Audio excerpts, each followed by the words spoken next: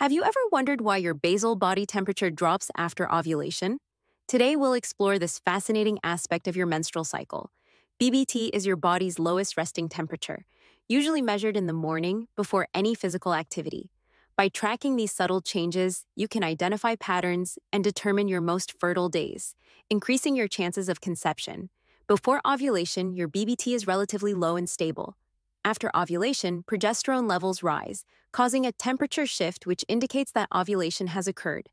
This rise in BBT is a crucial sign for those tracking their fertility.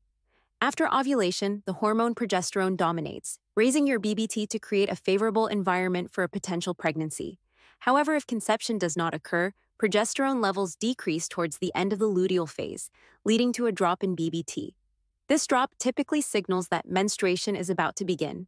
Several factors can influence your BBT readings, including illness, stress, alcohol consumption, and disrupted sleep patterns.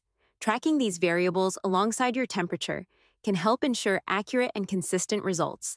When analyzing your BBT chart, look for the subtle shifts in temperature. A drop in BBT after ovulation, followed by a sustained rise, can be an early sign of pregnancy. Conversely, if BBT remains low post ovulation, it usually indicates that menstruation is imminent. If you notice a sustained rise in BBT beyond the typical luteal phase, it might be time to take a pregnancy test. However, remember that BBT alone isn't a definitive indicator of pregnancy. Other signs, such as missed periods, breast tenderness, and nausea, should also be considered. If you have any questions or need personalized guidance, reach out to us. Thank you for watching. Don't forget to subscribe for more informative content.